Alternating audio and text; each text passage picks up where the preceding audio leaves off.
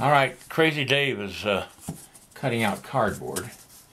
And uh, what I did was I took a lid from a bowl that was about the right size for uh, a shield that I'm making for uh, Touch the Clouds, which you can see here. I'm I did this piece about a year ago, and uh, almost a year ago, and it's been in the gallery in Park City, Utah, at Mountain Trails Gallery uh, ever since. And Adam from the uh, gallery, he's the owner, called and wants to get it cast into bronze. And so I'm going to be going down to uh, work on it down in Lehi, Utah tomorrow. I'm driving down. And I'll be gone for a couple of days. And uh, so anyway, I wanted to put a shield on him, and I know the width of his shoulders, and the shield would usually be about the width of a man's shoulders. Now this is just a little bit bigger. It ain't gonna make any difference. Uh, it'll be fine. Um, it's not exactly a perfect circle, which is also fine.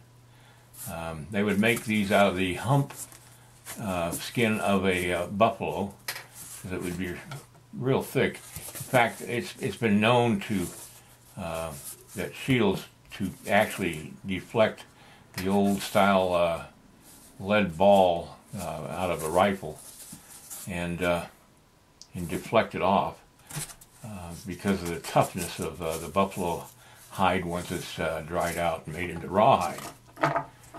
So they actually did work, and I've Lakota friend of mine, uh, Joe Redfeather, uh, has one in his office, uh, in his special room, and uh, they're sacred things, uh, the shield, because uh, they create them through visions and stuff like that, the designs on them and stuff like that. But so anyway, I'm going to just start adding clay to this. It's not going to be anything overly exciting to watch, but I'll go ahead and start it, and then I'll come back after I get the thing fully covered in clay. Um, it sticks really nicely to the uh, the uh, uh, cardboard, and uh, I've got to cover both sides of this with clay.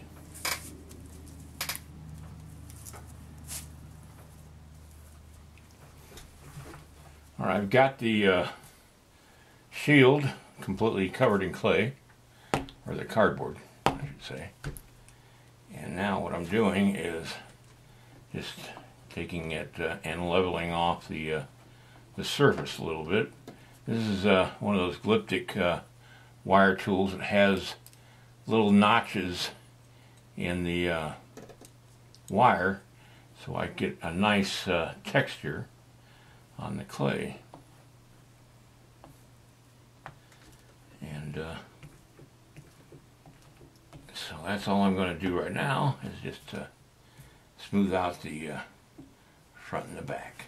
It's going to be a plain shield. It's not going to have lots of feathers on it and things like that. It's just going to be a war shield that uh, is designed to protect him from uh, flying, whatever.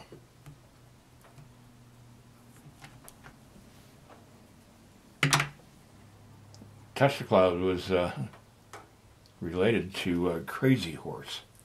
I think he was his cousin.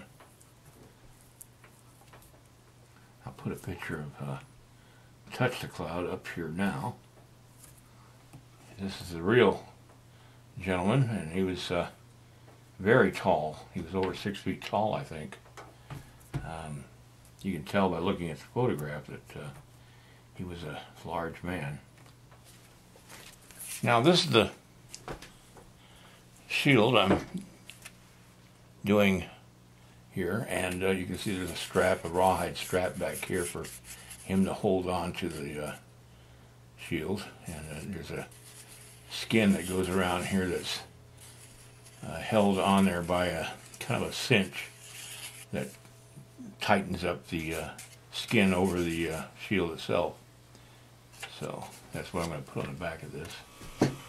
I've got this uh, pasta machine that I use to roll out the clay. And I'm just going to put it through ever so slowly.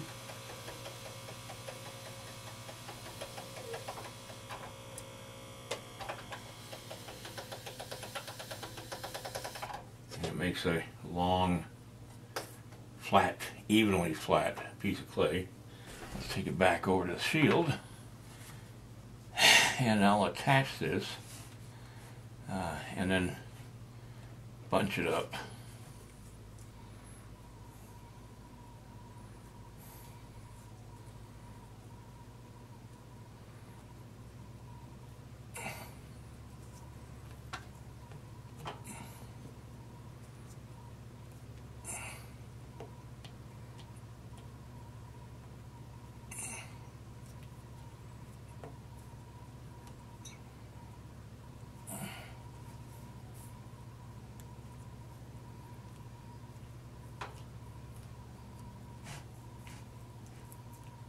I'll go back and fill in all these indents in here because I don't want to make it too expensive to cast.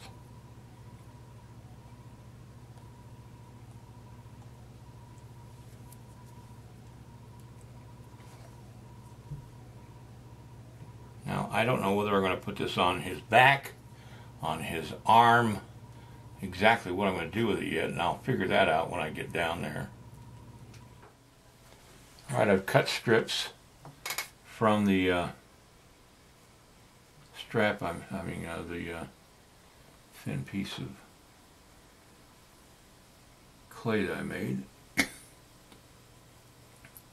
I'm just putting the cinches or the straps between the wrinkles to kind of give the impression that it's been sewn together around the outside. Yeah. Alright, I'll be back. It's hard to show this at the angle I'm having to work at, so it'd be probably best if I just end the video here and come back. Alright, what I'm doing is I've got this side done on, at, on the outside. I still have the strap to do in the center, but I don't want to do that until I get the design on the uh, shield. So I'm going to put this block down just to keep these from pressing down on the uh, the uh, board. Never draw anything at an angle because it will look like you drew it at an angle.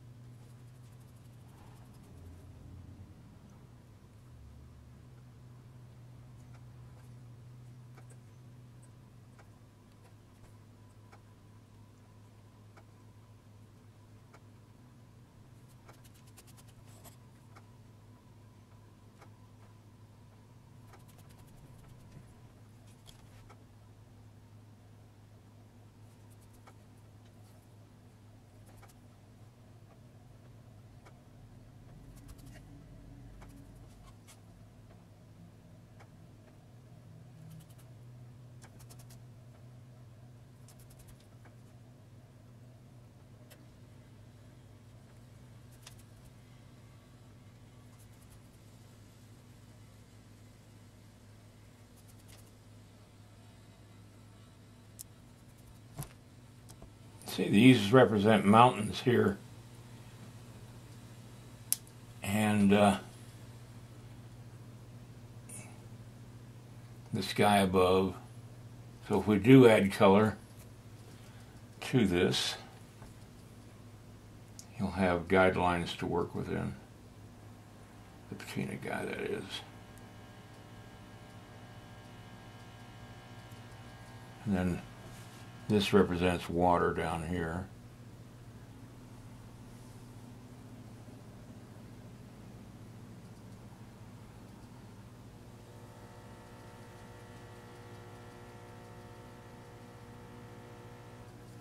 There we go. Simple, yet direct. Yeah, just simple and direct. Now, put the straps on.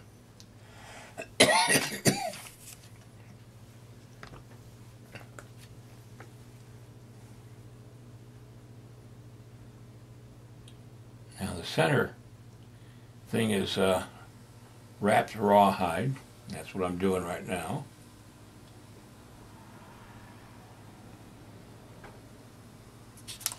That's where his hand would hold on to the shield.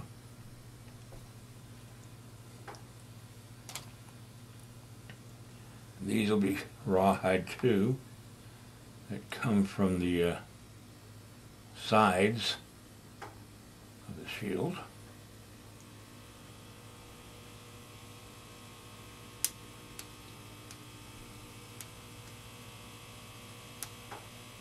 I'm going to finish this up and uh, so I can pack this up and and then go over to the studio and get the clay I'm taking down with me for the gallery.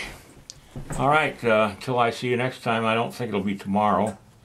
And I don't think it'll be the next day. It'll probably be a couple of days from now because I won't have my laptop to uh, uh, work with because it's dead. So let's just continue and uh, I'll see you in a couple of days.